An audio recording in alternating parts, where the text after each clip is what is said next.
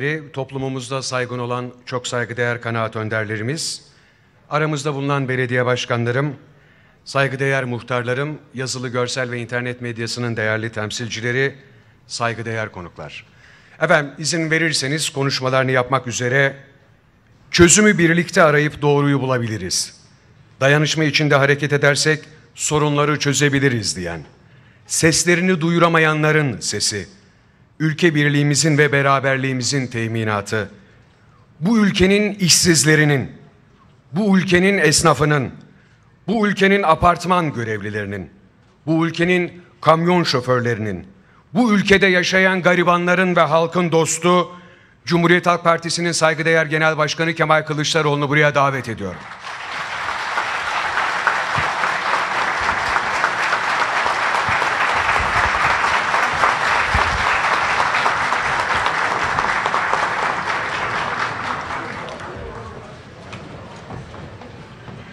Efendim hepinize selamlarımı, saygılarımı sunarak konuşmama başlayayım.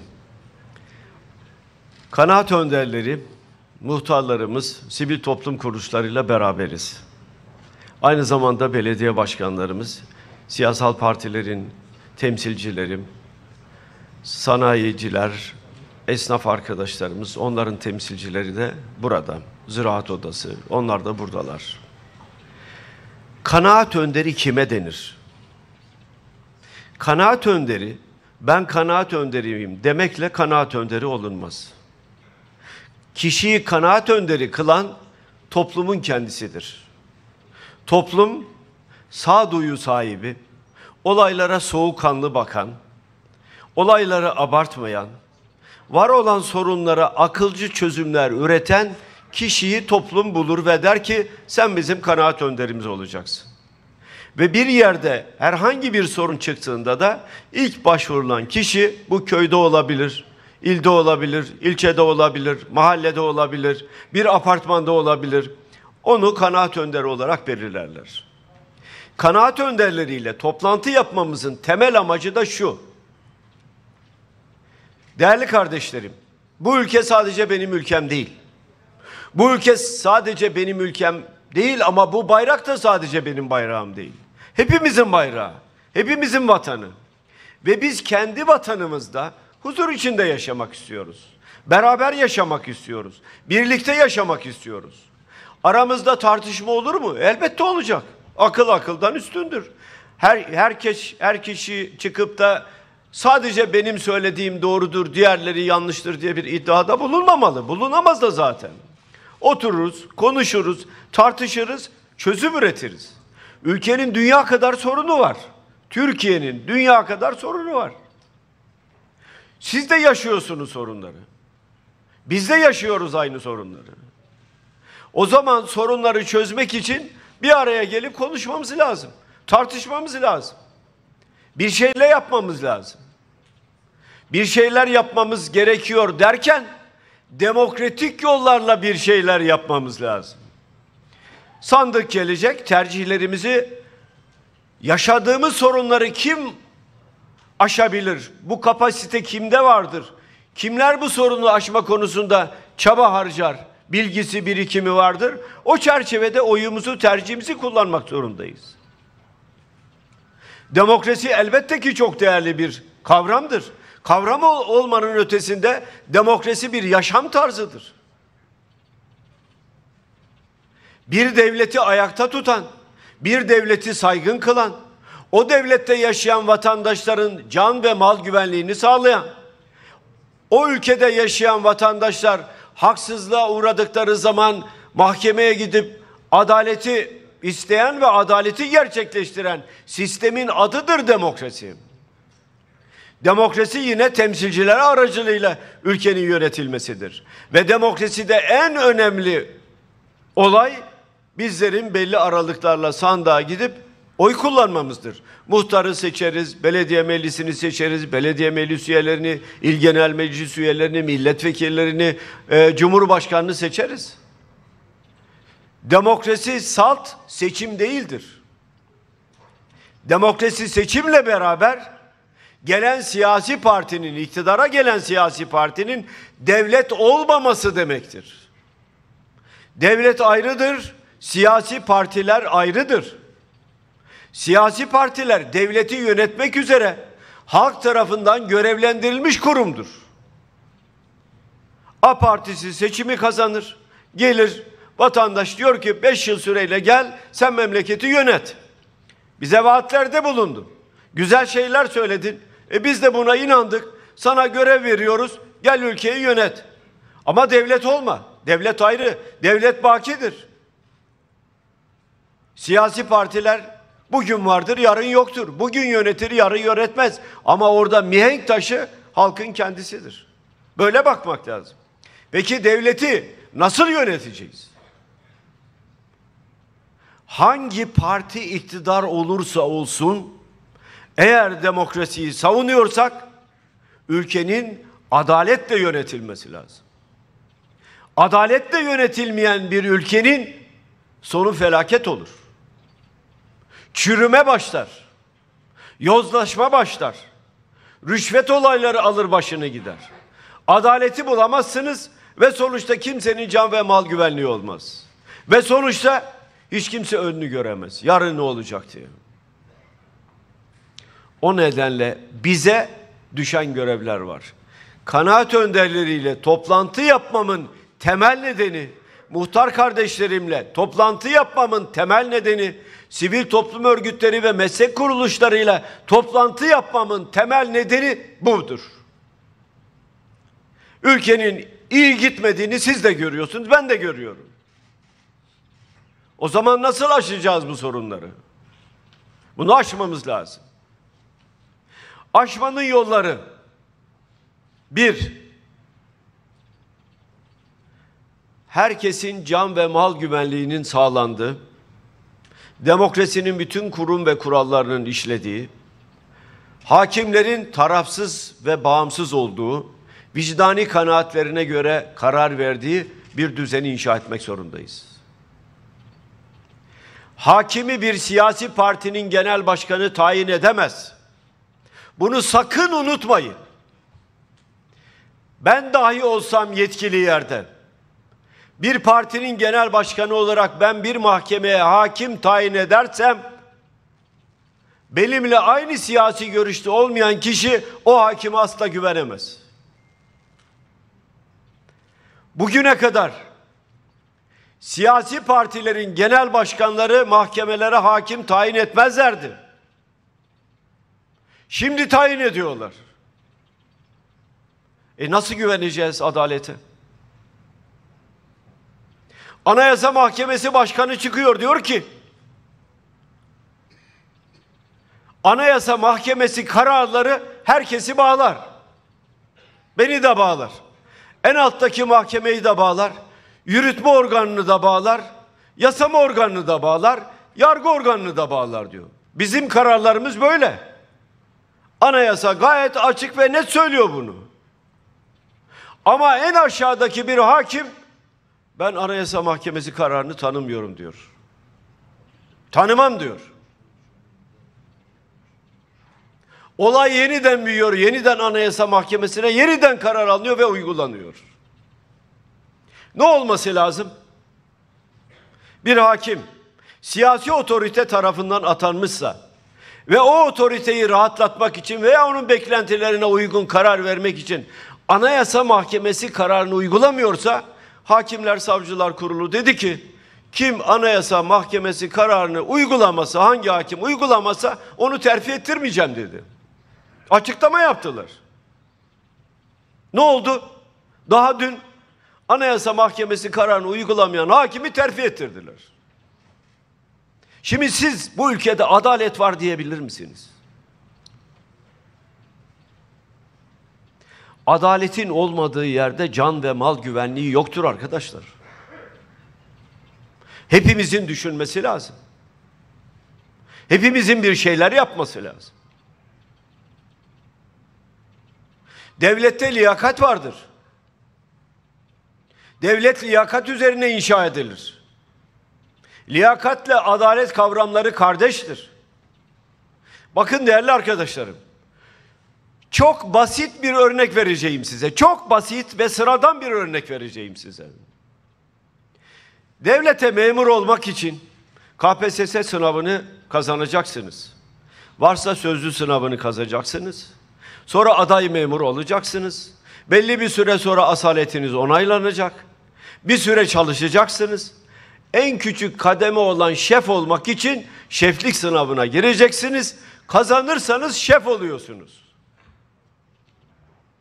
Kazanırsanız şef oluyorsun. En alttaki memur, ünvan. Peki bakan ve milletvekili olmak için neye ihtiyaç var? İki şeye. İlkokul diploması ve savcılıktan iyi hal kağıdı. Siyasetle devletin farkı bu işte arkadaşlar. Devlette liyakat vardır. Siyaset öyle değildir. Siz liyakati yok ederseniz devletin dibine dinamiti koymuş olursunuz. Üretmemiz lazım. Güçlü Türkiye diyoruz. Demokrasiyi getiriyoruz. Güçlü Türkiye için üretmemiz lazım. Bu topraklar Milli Kurtuluş Savaşı'nın verildiği topraklardır. Bu topraklarda binlerce şehidimiz vardır. Onların kanları vardır. Biz onların evlatlarıyız. Biz onlara karşı görevimizi yapmak zorundayız. Eloğlunu avuç açan bir Türkiye değil, üretimiyle alın teriyle dünyaya mallarını ihraç eden, satan bir Türkiye talep ediyoruz. Bir Türkiye istiyoruz. Madem ki bu topraklar şehit kanlarıyla sulandı. Bakın devleti kuranların hiçbirisi iktisatçı değildi. Hiçbirisi. Hepsi askerdi. İlk yaptıkları iş ne oldu? Gittiler İzmir İktisat Kongresi'ni topladılar. Ya acaba biz memleketi nasıl ayağa kaldırırız? Ve memleketi ayağa kaldırdılar. Osmanlı'nın kaçırdığı sanayi devrimini yakaladılar. 1921 yılında daha 23'ten önce Kayseri'de uçak fabrikasının temelini attılar. Kırıkkale küçük bir köydü. Kırıkkale. Entegre silah sanayini orada kurdular. Karabük küçük bir köydü. Demir çelik tesisini kurdu. Bunlar şimdi il oldu. Eskişehir, Yılmaz Hocam burada. Eskişehir. Uçak üreten, ihraç eden merkezdi. Kayseri'nin dışında. Ankara Etimeskut'ta uçak fabrikaları motoru vardı. 1940'lı yıllarda dünyaya uçak ihraç eden 5 ülkeden birisiydik.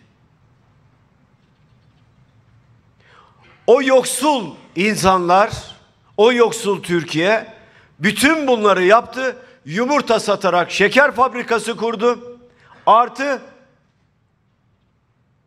Osmanlı'nın borçlarını da son kuruşuna kadar ödedi. Kimseye de el avuç açmadı. Şimdi geldiğimiz tabloya bakalım. Bekliyoruz dışarıdan para gelecek mi diye. Kim bu hale soktu? Yalvarıyoruz acaba dışarıdan para gelecek mi bize diye. Konuşuyoruz acaba Biden benimle görüşecek mi diye. Görüşmezsem mahvolacağım diye. Bari yüz yüze değil telefonla mı acaba görüşsek diye. Cumhuriyet tarihinde böyle bir tablo çıktı mı ortaya? Ve biz aynı zamanda bütün komşularımızla barış içindeydik. Suriye'yi al, Irak'ı al, bütün komşularımızla, Mısır'ı al, hiç kimseyle kavga etmedik. Nedir bu halimiz? Neden bu hale geldik? Şunu düşünebiliyor musunuz? Bizim bir Merkez Bankası kanunu var. Ve bizim resmi paramızın adı da Türk lirası. Türk lirası. Değerli kardeşlerim, bir hükümet, bir hükümet kendi vatandaşından borçlanabilir, Türk lirası üzerinden borçlanır eyvallah. Dersin borç bana ver ben sana faiziyle beraber bunu belli bir süre içinde ödeyeceğim. Bunu anlarım. Amerikalı böyle borçlanır. Fransızı böyle borçlanır. Güney Kore'si böyle borçlanır. Japonlu böyle borçlanır. Biz nasıl borçlanıyoruz kendi vatandaşımızdan? Dolar üzerinden borçlanıyoruz. Bana dolar üzerinden borç ver. Ben de sana hem faizini hem dolarını geri ödeyeceğim. E nerede o biz- bizim Türk lirası? Ne oldu bizim Türk lirasına? Şimdi son iki haftada görüyorsunuz. Türk lirası değer kaybediyor. Dolarda, avroda da ciddi bir yükseliş var. Son iki haftanın bilançosunu, son iki haftanın. Bakınız. Döviz sahipleri yani bankalarda dövizi bulunan vatandaşlar 261 milyar dolar tutuyor. Şu anda bizim vatandaşımız Türk lirasına güvenmiyor büyük ölçüde. Bankada dolar olarak tutuyor parasını, döviz olarak tutuyor. 261 milyar dolar para var bankalarda. Vatandaşlara ait para var. İki haftada bankada dolarları olanlar iki haftada 151 milyar lira para kazandılar oturdukları yerden. Çay içtiler, sohbet ettiler. Para orada duruyor. Dolar yükseldi. 151 milyar lira para kazandılar oturdukları yerde. Kim ödüyor bunu? Sizler ödüyorsunuz. Kim ödüyor bunu? Çiftçiler ödüyor. Esnaf ödüyor. Kamyon şoförü ödüyor, tır şoförü ödüyor, muhtar ödüyor, ev kadını ödüyor, çalışan kadın ödüyor, işçiler ödüyor. Hepimiz beraber iki haftada 151 milyar lira para ödeyeceğiz. Hiç aklınıza gelir miydi?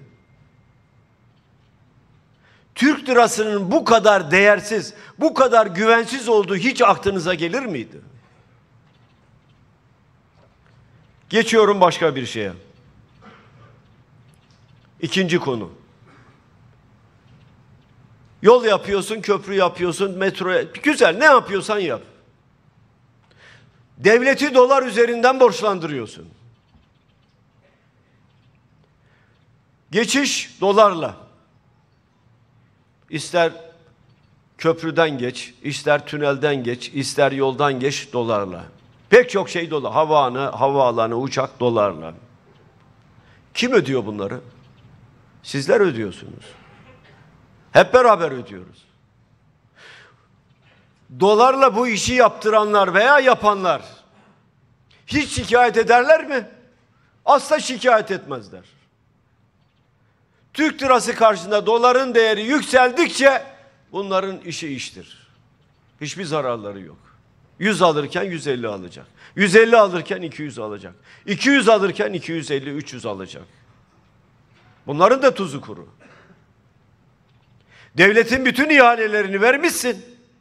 Ya müteahhit Türkiye Cumhuriyeti vatandaşı. Yatırımın yapıldığı yer Türkiye Cumhuriyeti toprakları. Taşeronlar Türkiye Cumhuriyeti vatandaşları. Onların işçileri Türkiye Cumhuriyeti vatandaşları. Peki sen işi niye dolarla veriyorsun? Niye avroyla veriyorsun? E hani sen yerli ve milliydin kardeşim? Nasıl oldu da bu iş oldu? Kanaat önderleri olarak size şikayet ediyorum.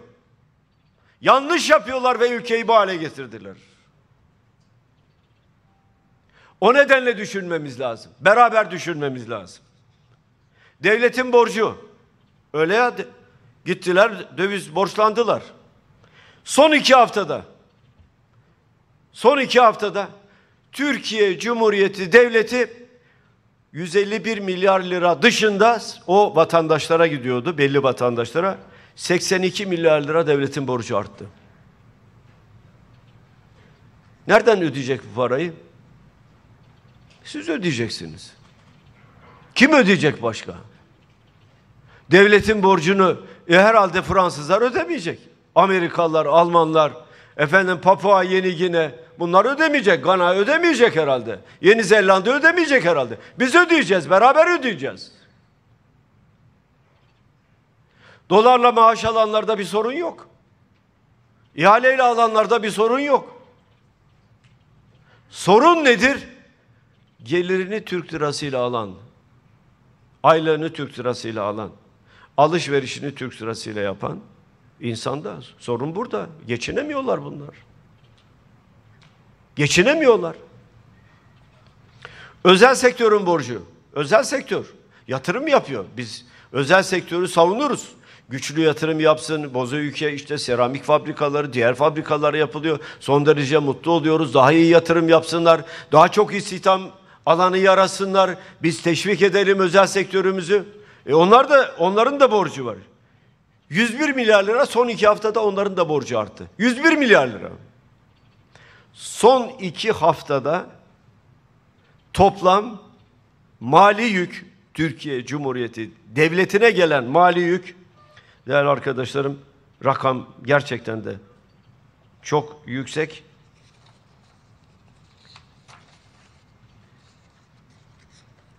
...151 milyar lira bir... ...82 milyar lira bir...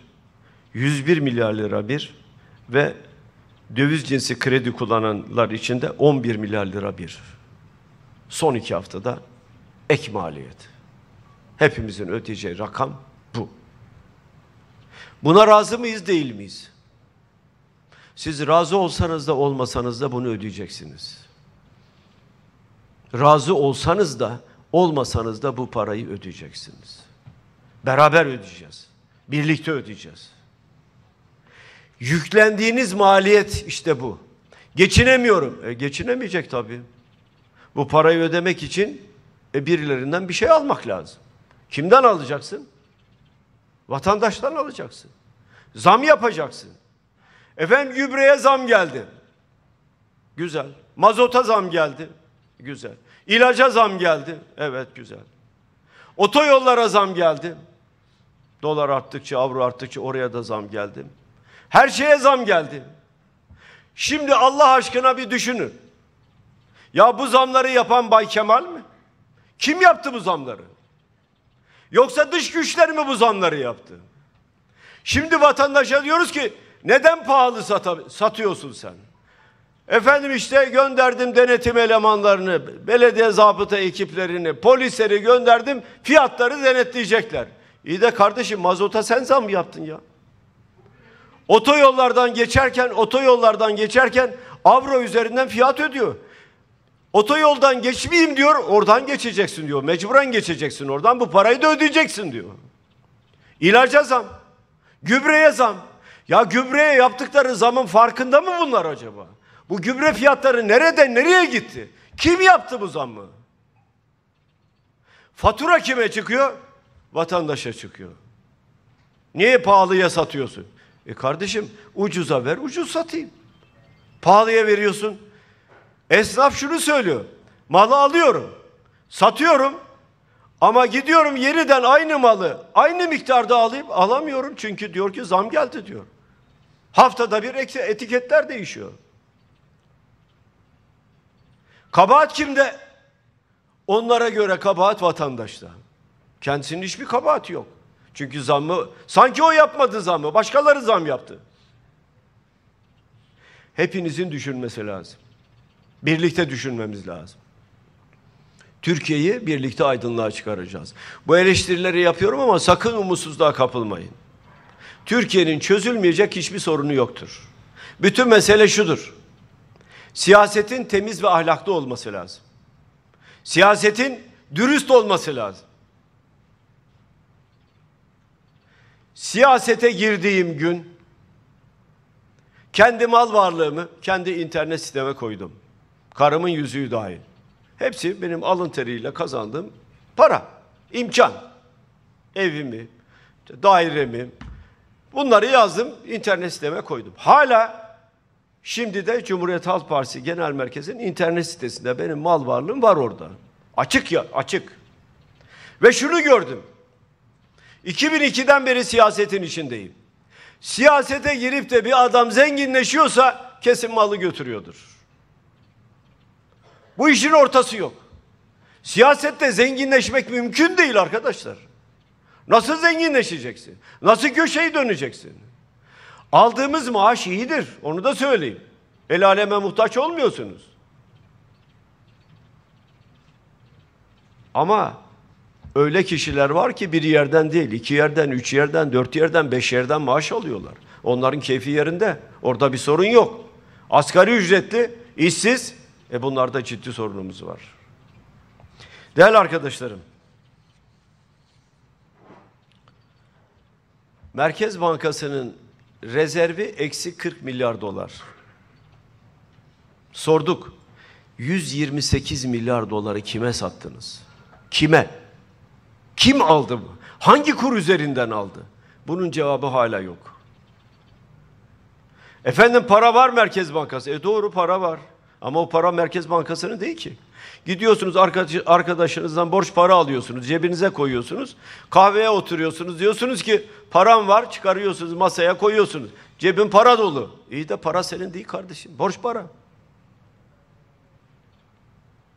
Hala bunu satmaya çalışıyorlar. Paramız var diye. Biz sanki bilmiyoruz. Bütün dünya bunu biliyor. Bütün dünya bilançoları analiz ederler. Bu rakamları bulurlar. Bütün bunların hepsi var değerli arkadaşlarım. Son günlerde en çok tartışılan konu yurt konusu. Öğrencilerin yurdu, üniversiteye giden öğrencilerin yurdu. Ben söylemiyorum. Kredi Yurtlar Kurumu bir kamu kurumudur. Kredi Yurtlar Kurumu'nun rakamlarını veriyorum. Kredi Yurtlar Kurumu'nun. Yurt sayısı 773. Türkiye genelinde 773 yurdumuz var. Yurdun kapasitesi 773 yurdun kapasitesi 6000 e, 695.834. Yani 695.834 öğrencimiz bu yurtlarda kalabilir. Peki örgün eğitim kapsamındaki üniversiteli öğrenci sayısı kaç? 3 milyon 801 bin 294. 3 milyon 801 bin 294 öğrenciye 695 bin 834 yatak düşüyor. Soru şu. 19 yılda yurt sorunu niye çözmediniz? Bu öğrenciler bu sene değil ki. Yıllardır. Milletvekillerin gidin. Hepsi arar. Ama bizim çocuğumuza, kızımıza bir yurt bulabilir misiniz? Bir yerde kalabilir mi bu çocuklar? Niye yapmadılar yurdu? Hangi gerekçeyle yapmadılar? Evlatlarımız üniversiteyi kazandığında sevinmiyor muyuz? Evlatlarımız bir üniversiteyi bitirdiğinde sevinmiyor muyuz? Güvenlik içinde bir yurtta kalsınlar diye arzu etmiyor muyuz? Niçin yapmadılar? Yurt binası yapmak çok mu pahalı? Hayır. Çok mu komplike bir yurt binası? O da hayır. İkişer, üçer kişilik odalar olacak. Sıcak suyu, soğuk suyu olacak. Geniş bant internet erişimi olacak. Aşağıda efendim bir çalışma e, odası olacak ya da salonu olacak. Yemekhanesi olacak. Girişte de bir görevli olacak. Yurda girişi çıkanı denetleyecek bir bu kadar. Öyle salonu, misafir salonu, oturma odası, çocuk odası bunlar yok. Çok basit. Bir yılda çözülür. En geç bir yıl içinde çözülür. Değerli arkadaşlarım, bir şey daha ifade edeyim. Bu da önemli bana göre. Demokrasiden söz ettik. Demokrasiyi güçlendirmenin en önemli ayağı muhtarlık kurumunu güçlendirmektir. Muhtarlık kurumunu güçlendirirseniz demokrasi de güçlenir, güçlenmiş olur. Muhtarlık kurumuna kişilik kazandırmanız lazım. Yasal güvencelerin olması lazım. Oturabileceği bir alanın bir yerin olması lazım. Muhtar kardeşlerime ödenek veriyorlar. Maaş vermiyorlar. Ödenek veriyorlar. Niye ödenek veriyorlar? Belediye başkanına ödenek mi veriyorlar? Hayır, aylık veriyorlar. Milletvekiline ödenek mi veriyorlar? Hayır. Maaş veriyorlar. Bakanlara ödenek mi veriyorlar? Hayır, maaş veriyorlar. Cumhurbaşkanı ödenek mi alıyor? Hayır, o da maaş alıyor. E peki onları seçen millet sizi seçmiyor mu? Sizi de seçiyor. Peki niye size maaş vermiyorlar? Çünkü maaş verseler sosyal güvenlik priminizi de yatıracaklar. Yatırmak mecburiyetindeler. Ödenek olunca ne oluyor? İzin alamıyorsun. İzin aldığınızda tak ödeneğiniz azalır. Peki belediye başkanı, milletvekili, bakanlar, cumhurbaşkanı bunlar izin aldıklarında aylıkları kesiliyor mu, düşüyor mu? Hayır hiçbir şey olmuyor. Demek ki maaş almanız lazım. Görevli olduğunuz, seçildiğiniz andan itibaren belli standart bir maaşınızın olması lazım. Ve sosyal güvenlik primleriniz eğer emekli, emekliye hak etmemişseniz devlet tarafından yatırılması lazım. Başka? Sizde birleşik oy pusulası yok. Niye yok? Girerseniz seçim kabinine, kabine girerseniz oy, oyunuzu kullanmak için. Beğendiğim, beğenmediğiniz bir muhtar varsa onun oy pusulasını alır cebinize koyar çıkarsınız. E gelen arayacak ya oy vereceğim muhtar nerede belli değil yok orada. Niye birleşik oy pusulası yapmıyorlar? Yapılması lazım. Muhtarlık kurumuna değer vermedikleri için değer vermeleri lazım. Anayasamızda der ki angarya yasaktır. Gayet güzel. Bedava iş yapmak yasaktır yani. Türkçesi o angarya bedava iş yaptırmak demektir. E size icra dairelerinden bir sürü şey geliyor değil mi? Tebligatlar geliyor. Bunları tebliğ edin diye. Bir bedel ödeniyor muhtarlık kurumuna. Ödenmiyor. E aynısını PTT memuru yaptığı zaman maaş alıyor. Ama siz almıyorsunuz. Size vermiyorlar. Bu ne demektir? Aynı zamanda muhtarlık kurumunun makul bir bütçesinin olması demektir. Bir bütçenizin olması lazım. Bir fakir fukara gelecek. Yardım yapmanız lazım. Ve sosyal yardımların da muhtarlar aracılığıyla dağıtılması lazım. Niçin? Muhtar bir politik kimlikle ortaya çıkmaz. Muhtar der ki ben mahallenin muhtarıyım, köyün muhtarıyım. Kendi adıyla çıkar, seçimi kazanır ve gelir yerine oturur. O mahallede kim nasıl yaşıyor en iyi muhtar bilir. Bir de mahallenin bakkalı ikisi bilirler. Muhtarlık bir kamu kurumu değil.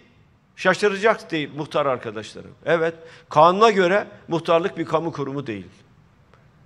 Kamu kurumu olmadığı için muhtarlar belediyelerle işbirliği halinde proje yapamazlar. Çünkü kamu kurumu sayılmadığı için. Sayılması lazım. Sizi millet seçti. Bir kişi seçmedi ki.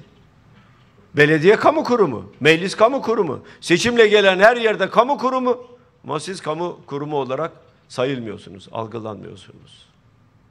Önümüzdeki süreçte şöyle bir şey getirecekler. Duyarlı olmanız için söylüyorum. Biz itiraz ediyoruz ona. Muhtarlık seçimi ile belediye başkanlığı seçimini ayıralım. Ayrı ayrı tarihlerde yapılsın. Bu olursa siz muhtar olarak sandığa seçmen getiremezsiniz.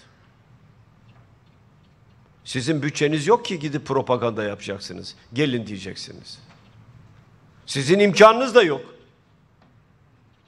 Belediyenin siyasi partiler giriyorlar. Türkiye genelinde geziyorlar. Vatandaşı sandığa getiriyorlar. Gelirken aynı zamanda muhtarını da seçmiş oluyor. Bu konuda muhtar kardeşlerimin dikkatli olması lazım. Değerli arkadaşlarım, daha anlatacak pek çok şey var. Birazdan yerime oturacağım. Soru soracaksınız. Sanayicilerle ilgili de bir iki şey söyleyeyim. İnsanoğlu tekerleği bir milyon yılda keşfediyor. Bir milyon yılda tekerleği keşfediyor. Şimdi her saniyede birden fazla buluş var. Her saniyede. Eğer Türkiye olarak biz katma değeri yüksek ürün üretemezsek, sanayimizi bu yönde teşvik etmezsek, biz sadece ve sadece katma değeri yüksek ürün üreten ülkelerin tüketicisi konumuna geliriz. Onları kullanmış oluruz. Sorun çok. Bu söylediğim sorun temel bir sorundur. Bu temel sorunun çözülmesi lazım. Ekonominin planlanması lazım. Tarımın planlanması lazım. Bu planlama olmadığı sürece, plan, planlama şu değerli arkadaşlarım. Bir kaynağınız var. 100 lira, 500 lira, 1000 lira, onu işte bütçe diyoruz. Bir kısmını vergiler, bir kısmını borçlanma yapıyorsunuz. Bazen özelleştirme yapıyorsunuz. Bir bütçeniz var. Sınırlı bir kaynak. Ama ihtiyaçlarımız sınırsız. Bu kaynağı nereye harcayacağız? Önceliklerimiz ne? Bunu planlama yapar. Öncelikleri belirler. Önce deriz ki köye yol yapalım. Ondan sonra işte yol yaptıktan sonra diğer harcamaları yapalım. Köyümüze, ilimize ya da ülkemize önce önceliğimiz şu olmalı. Yani ailede düşünelim. Karnımız aç, sinemaya mı gidelim yoksa yemek mi yiyelim? Önce yemek yememiz lazım yaşamak için. Ondan sonra imkanımız olursa sinemaya gideriz. Ama siz kaynağı sinemaya harcayıp da aç kalırsanız o sağlıklı bir düşünce tarzı değil. Planlama yapmak lazım. Planlamanın 50 yıllık, 100 yıllık yapılması lazım. Artık öyle 3 yıllık, 5 yıllık planlarla bu iş çözülmüyor. Çünkü dünya hızla değişiyor. Teknoloji hızla değişiyor. Türkiye sanayi biliyorsunuz Osmanlı sanayi devrimini kaçırmıştı. Şimdi teknoloji devrini kaçırma lüksümüz yok. Onu yakalamak zorundayız. Ve sanayicilere bu konuda büyük görevler düşüyor. Bilecik'in bir şanssızlığı var. Bilecik'e vali dayanmıyor. Niye vali dayanmıyor? Ben bir türlü aklıma elmiyor. Sordum arkadaşlara ya niye bu, bu kadar sık vali değişiyor diye. E geliyor hemen değişiyor. Niye değişiyor? Kaç aydır valisi yok. Sanki Türkiye'de valilik yapacak hiç adam bulamadılar. Adam var, çok var da kendi kafalarına uygun birisini bulamadılar herhalde. Vali olması lazım. Sorun var. Emeklilikte yaşa takılanlar var. Onu da biliyorum. O sorun da çözülmesi lazım. Onun için de çalışma yapılması lazım. O konuda da bizim oturup tartışmamız ve konuşmamız lazım. Bunun da yapılması lazım. Bölge il başkanımız söyledi. Bilecik küçük bir il olmakla beraber özgür ağırlığı fazla. Evet söyledim konuşmamın başında. Şehit kanlarıyla sulanan bir bölgedeyiz. Sadece Milli Kurtuluş Savaşı'nda değil, Osmanlı'nın kuruluşunda da burası çok önemli bir merkezdir. Ve bu merkez hepimizin göz bebeğidir. Bu merkezin korunması, büyütülmesi, tanıtılması gerekiyor. Merkezi büyütmek, tanıtmakta belde başkanına, belediye başkanına, milletvekillerine ve siyasi iktidara, kültür bakanlarına özellikle bu konuda büyük görevler düşer. Sorular soracaksınız bana. İki şey istiyorum sizden. Birincisi şu. Ya acaba şu soruyu genel başkana sorsam genel başkan üzülür mü? Üzülmem. İstediğiniz soruyu sorun. Rahatlıkla sorun. İkincisi de acaba bu soru da genel başkana sorulur mu? Niye sorulmasın? Soracaksınız. Bizim bir helalleşme süreci başlatmamız lazım. Bizi tanımanız lazım. Bizi tanımanız lazım. Bizim ne söylediğimizi dinlemeniz lazım. İyiye gitmeyen bir süreç var. Buradan Türkiye'yi çekip çıkarmamız lazım. İsteğim bu ama şunu da bilmenizi isterim. Sorduğunuz her soruya samimi cevap vereceğim. İçimden gelen cevabı vereceğim. Öyle alttan al, yukarıdan yuvarla işte acaba nasıl bu soruyu atlatırım. Yok öyle bir şey. Yapmayacağım bunu. Çok açık, çok net sorduğunuz her soruya inandığım şekilde cevap vereceğim. Şundan da emin olmanızı isterim. İnşallah devri iktidarımızda göreceksiniz.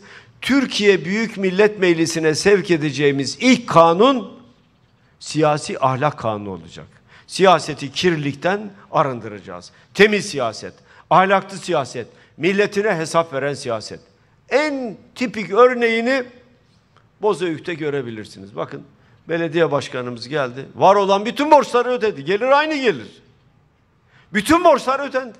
Demek ki ödenebiliyor. Türkiye zengin bir ülke. Bütçesi de çok iyi.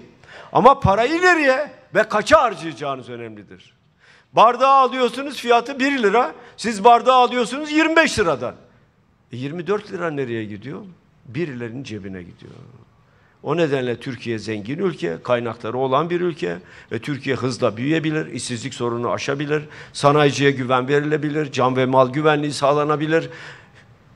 Siz eğer gerçekten teşvik ettiğinizde ve gerçekten istikrarı sağladığınızda bütün bunların tamamını hayata geçirebiliriz. Hepinize teşekkür ederim. Sevgiler, saygılar sunuyorum. Masama geçiyorum. Sorularınızı bekliyoruz.